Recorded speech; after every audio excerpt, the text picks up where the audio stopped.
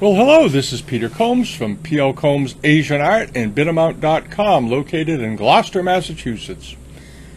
Today we're going to have a look at the Sotheby's sales from September, this uh, just last month. They had some great things, they had nice results. They had some odd things that didn't sell, which I don't quite understand, but that's the way it always goes. And we're also going to take a look at our friends down in Marietta, Georgia at Eden, Eden Auction Galleries. These were the folks that we did a few pieces on a while ago who are offering a plethora of reproductions, copies, and fakes. But for now, let's start on an up note. We're going to take a look at important Chinese works of art at Sotheby's. They had some fabulous pieces, as you can see by the catalog. They had some great monochromes. We're also going to take a look over at this sale. This is a fun sale. If you don't have an endless wallet, this is an auction you might want to pay attention to. It's called Saturday at Sotheby's. They have some great things and things that the average person can afford. First up is lot number seven, an extremely fine and very rare Kangxi Clair de Lune, also known as Qian Lan, sky blue uh, brush washer made during the late Kangxi period. These are extremely rare. They're rarer than the peach bloom examples by a good bit. Very few of them are in existence. If you have the opportunity, get yourself a copy of Decorative Arts Part 2, published by the National Gallery over 10 years ago. It has the Widener collection in it. They have many examples of these incredible Kangxi monochromes. Uh, I was fortunate enough to spend an afternoon there one time uh, getting to look at them all. It was quite incredible. Next up is Lot 8 and 9, a pair of uh, Keelong bowls that were purchased in Hong Kong prior to 1942 by Donald Ballantyne. The one on the left, as you can see, brought considerably more on the one on the right, and we'll take a look at them and see why. Um, we're going to zoom in a little bit. As you can see, the one on the left has a very, very even color. It's perfectly toned, uh, done with the, the soft, soft turquoise blue, beautifully done. The one on the right is a bit more dense. The color toning isn't quite as perfect. Uh, the potting is identical, but the uh, glaze uh, finish on it wasn't quite as good. I think that's probably the reason why the other brought uh, many times more, though they were in the same collection for a long time, and this is the first time they've been offered for sale. Next up was this, was lot number 16, an incredibly fine uh, Yongzheng Marken period uh, Doucai enamel uh, medallion bowl. Uh, the, each medallion is decorated with uh, a flower. They were the peony, the lotus, the chrysanthemum, and the prunus. And they represent the four seasons. Uh, scholars often refer to them as the four gentlemen. The, the pattern or using these flowers emerged, became very popular back in the Sung dynasty and remained ever so. And uh, during the Yongzheng, they were used on these bowls and other, other uh, porcelains as well. This particular bowl measured 8 inches in diameter, came from a good collection, and was in remarkably fine condition. It was a really superb example. As you can see, it pretty much blew the estimate to bits and uh, did Following that beautiful conical bowl was this, an incredibly fine Doucai enameled Yongzheng Marken period uh, dish. They refer to these as the five bats dish. Um, but what it really depicts is a scene uh, representing the seventh trial of Zhao Zheng, a disciple of the Eastern Han Dynasty celestial master Zhang Daoling, who is credited with founding the way of the celestial masters sect of Taoism. Zhao Daoling told his disciples that he would reveal the essence of the way to those who could obtain a peach from a tree growing sideways from a steep cliff and only Zhao Zheng had the courage to carry out the task and returned with the peach. While, the, while this particular dish illustrates the scene that he had to climb down, it doesn't depict him on it.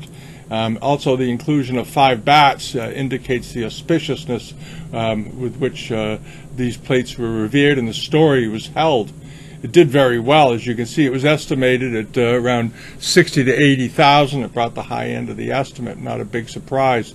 It had been sold at Sotheby's Hong Kong in 1997. Then they came up with this. This is an incredibly great, another Yongzheng Marken period piece, but this is a underglazed blue uh, ewer uh, done in a Middle Eastern metal form. It is uh, handleless. There's, these can also be seen with handles, uh, but this particular one was without. It is extremely rare. It turned up at Nagel's about uh, seven years ago where it was sold and then is now being reoffered here. And it did very well. It measures around 10 inches tall. And it's exceptionally rare ewer, and it represents probably the very height of the imperial kiln output under Tang Ying during the uh, uh, 18th century. Uh, here you can see the mark on the lower left. We're going to add a photograph uh, with the ewer and the mark so you can see it a little more clearly. But these were superbly well done. It is thought that they often call these watering vases in China, uh, though they could also be used for pouring wine. The exact purpose was never recorded, actually, and they don't really know. But these do turn up on occasion, and they always bring a great sum of money, just as this one did, just shy of a million dollars.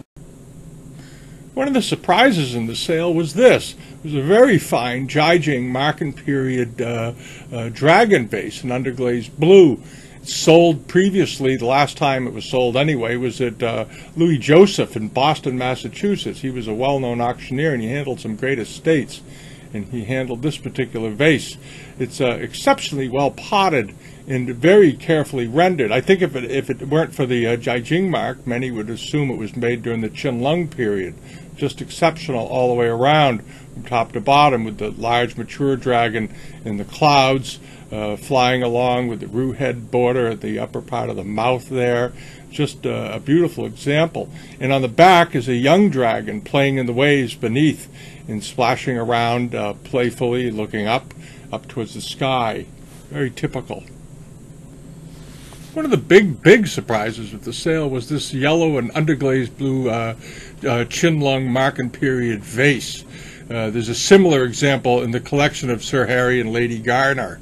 Uh, that was uh, illustrated in their book and had been loaned many times to exhibitions. It measured around eight inches tall and what was beautifully done um, when this these the, the, scrolling pattern around the body the body flared out beautifully as well but this beautiful lotus and chrysanthemum scroll and then above it are these uh, uh, uh, acanthus leaves accentuating the neck and then a gently flared mouth uh, all around it was a great example and one of the things that's interesting about this particular vase was if you notice that in certain spots that it's been highlighted with uh, later enamels they say later in the catalog. They don't really say when. Um, but here's a picture of the bottom of it. Beautiful, deep yellow, rich yellow, almost a green tone to it with this green enamel highlights, and then this very deep, deep cobalt blue. Just a great vase. While we're here, I thought I'd mention that, that lovely deep uh, green, leaf green, uh, Qianlong Marken period uh, tea dust glaze vase also a great example. It brought uh, above its estimate, but the color of it was quite unusual. Very, very deep color and uh, uh, wonderfully potted throughout with a nicely sloping shoulder and very slightly uh, uh, flared uh, upper part of the neck there. Just a, a wonderful piece. And monochromes tend to do very well these days. They've been doing well now for several years. And here's another example. The next lot that came up that caught our eye, and it did really well, was lot number 32, a very fine Famille Rose Jiaqing Marken period boys at play vase, measured around 12 inches tall, and uh, was just filled with, with, with assorted symbols and, and, and messages on it. Uh, the fact that there were nine boys, it tells you that it was the wish of many Chinese families to have many children, but also the, the number nine is very symbolic in that it's notable, uh, is it synonymous with the letter Ju, which is the character for a long and long-lasting life in perfect harmony um, uh, and eternity. eternity.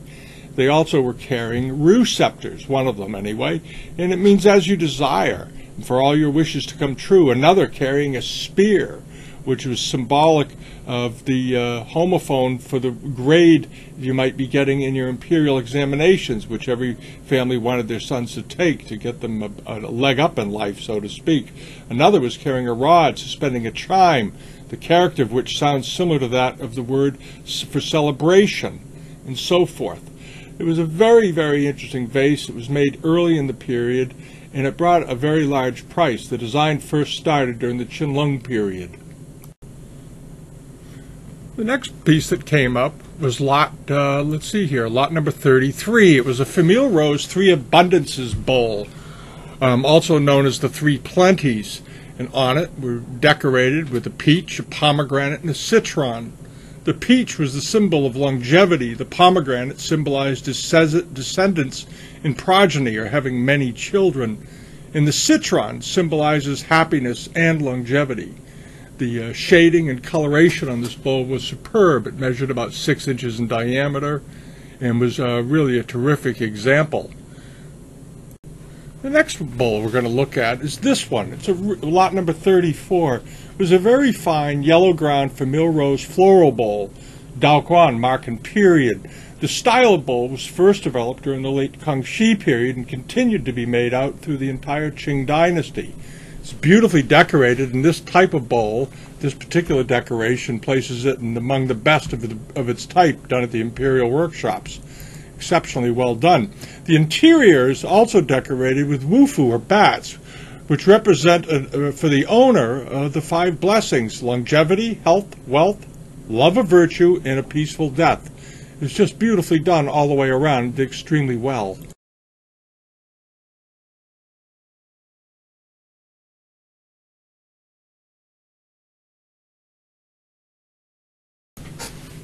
Further down into the catalog came lot 60, which was this. It was a really large 17 inch Jiajing Marken period uh, Ming Dynasty dragon charger. It was beautifully done with sort of inky tones of two dragons opposing over the flaming pearl above a wave crested ground uh, within a ring uh, border. It was exceptionally well done. There was a similar one was in the uh, Dr. Ip Lee Yi collection years ago. And the side of the bowl reflected what was on the interior, again with more dragons and in a horizontal script, the uh, reign mark of the piece. Beautifully done. Among the jades that were sold, probably the most important one was lot number 67. It was a Shang Dynasty piece, extremely large notch disc, uh, very big, estimated at 60 to 80,000. As you saw, it blew that estimate to pieces. Um, these discs form a very small but distinctive group, and they're defined by these deep indentations that divide the circumference into segments. The earliest examples have been found in, in the late Neolithic sites on the east coast of the Shandong province and in the west in Shaanxi. Uh, they're extremely rare, and uh, they're worth looking up. Looking if you like early jades, this is a type worth learning more about.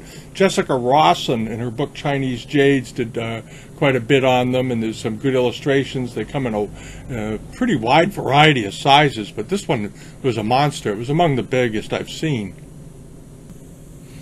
Among the bronzes offered in the sale was lot number 70 very unusual. It was a very rare pair. You don't see pairs of these very often of Shang Dynasty bronze ritual wine vessels, no less. They were estimated at forty to sixty thousand, but I think they brought way over that estimate because it's a pair. And finding pairs of these is extremely unusual. They were beautifully decorated. They had uh, um, uh, wonderful uh, surface on them too. They, they, had a deep green patina with lots of nice little malachite incrustations on them, and they appeared to be in excellent shape. Um, here's the write-up over here on this side. They'd sold at uh, Sotheby's some years ago at 1987, and then again in 2004, and they've been in collections ever since. And I guess somebody just had to have them, or a few people did. Arguably, the most important bronze in this sale, and maybe one of the most important pieces in the entire sale, was this lot number 72, an extremely rare buffalo figure done during the Western Zhou dynasty. It's beautifully done, extraordinary patina, and the work on it is very typical of the uh, Zhou sculptures. Notice the wonderful sort of armor plated body on it, and the animal has an extremely ter- has a terrific facial expression. You got to love it. It's like somebody caught him walking through the woods and he turned his head. It had been sold previously by the Yamanaka Company and had been through a succession of prominent collections ever since. Here's a look at it. As I said, it was about 10 inches long and uh, had a great deal of surface on it and very powerfully potted, very powerfully, powerfully uh, cast. Uh, just terrific. I love the face. You got to love the face and the deeply curled horns. Wonderful. Among the other rarities in this auction was this an incredibly rare uh, uh, Tang Dynasty sancai decorated uh, rhyton cup. They don't turn up very often. This was lot number 76. They're extremely rare. Rhyton cups were introduced to China through the Middle East, through Asia. Um, they were usually done in silver or other forms, and initially in China during the Han Dynasty, when they first arrived, were carved out of um, ox horns and cattle horns. This one was done in the Tang Dynasty, and it's interesting that they replaced the uh, the handle with a dragon's head, and it has this very fine stippled ground, um, beautifully done all the way around. Extremely rare. On the 16th of September, they held the Saturday at Sotheby's Asian Art Sale, which was an interesting one. It was done in a couple of segments. And this is a sale where the average collector, uh, with not an unlimited wallet, can find some terrific things. They had pages and pages and pages of things that could be bought for well under $20,000, something often for under 5000 Here are just a few examples. And we'll picked out one or two things for you to look at, to think about there was this. This was rather nice, uh, 13 and a half inch Kangxi uh, iron red and gilt jar. It was beautifully potted, well shaped, and uh, went for a, a, modest amount of money, about $4,300. Or you had this, this very large Kangxi Famille Vert uh, jar, 22 inches tall with lid. Uh, I may have had a repair or two, I don't know, but it looks like a heck of a deal to me. Or you had this, this really unusual pair of Blanc de Chine de Bois uh, Montgolfier uh, balloon ewers. These are extremely rare. They don't turn up very often. And they had a pair in this sale. So there's something to think about the next time Sotheby's runs these auctions. Don't overlook them. You might find something for a reasonable price. Now on to Eden Galleries. As many of you recall, a month or so ago, we did a few blogs and mentioned them in a few videos about what's going on at this place. Uh, it is our opinion that the pieces they offer are not authentic. They are all reproductions. And uh, this is just my personal opinion, but you can decide for yourself. Uh, this is their website. They have some uh, rather uh, big claims on here regarding the age and authenticity of the things that they're selling and uh, I, am not going to accuse them of any wrongdoings. We can just maybe give them the benefit of the doubt and say that they're being misled by uh, their consigners about the quality, age, and uh, so forth of their items. This is a classic case. It's a Jean, supposedly a Jean D. bowl with a with a with an estimate running around the price of a cheap export bowl, about a thousand dollars. You can buy this. As we all know, the authentic examples of these run well into high six figures and into seven figures.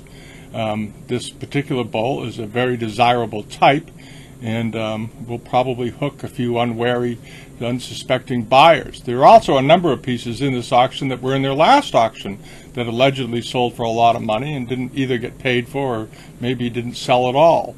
And then you have this, another supposedly Qing example, 18th to 19th century. These are brand new.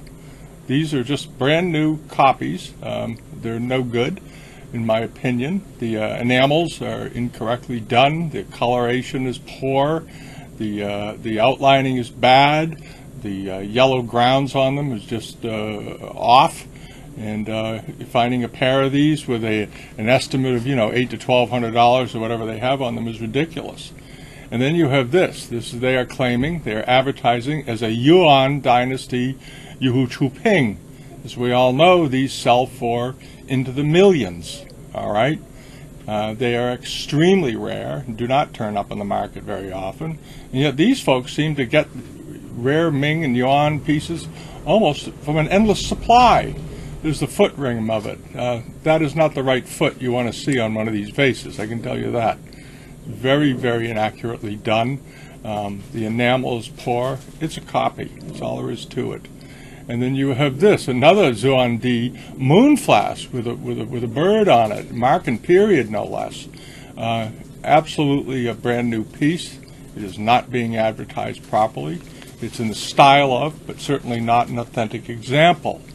There's the, there's the uh, mark on it, and there's the foot rim. That's a brand new foot, ladies and gentlemen. There's nothing more you can say about it. That's what it is. All right? I'm not going to review the other stuff that they have uh, because I suspect that if you accept all this bad porcelain, you're probably accepting bad everything else. And then you have this, this blatant fraud of a Yuan dynasty charger. were this piece authentic, you all know what it would bring. It would bring in the hundreds of thousands of dollars. Well, this one has a little tiny reserve on it. You could buy it for next to nothing. Nobody in their right mind would do that.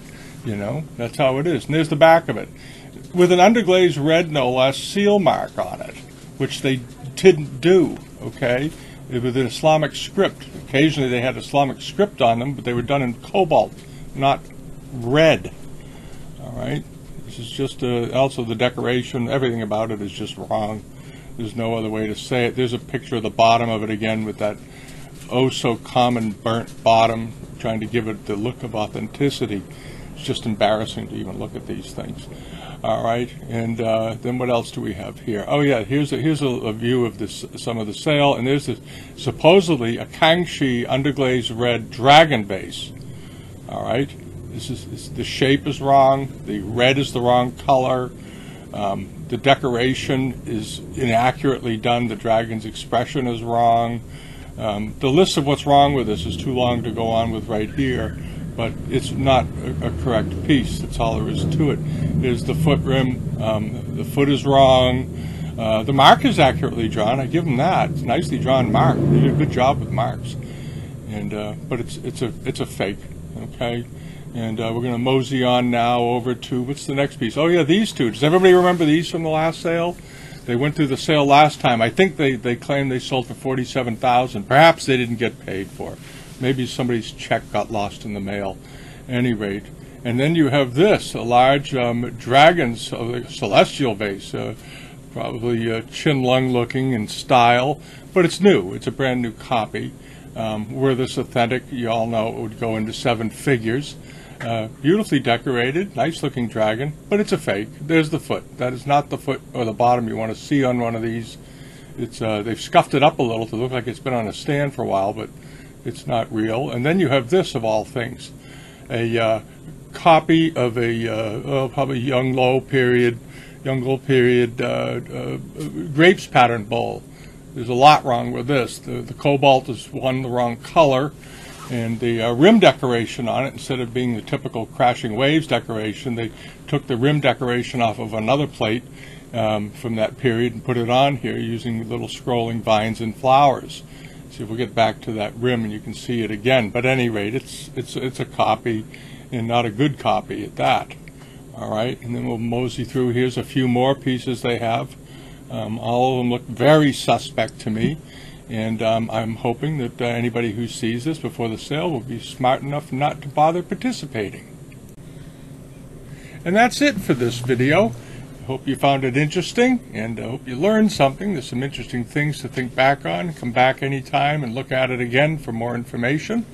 And uh, have a great week and uh, we'll see you next time.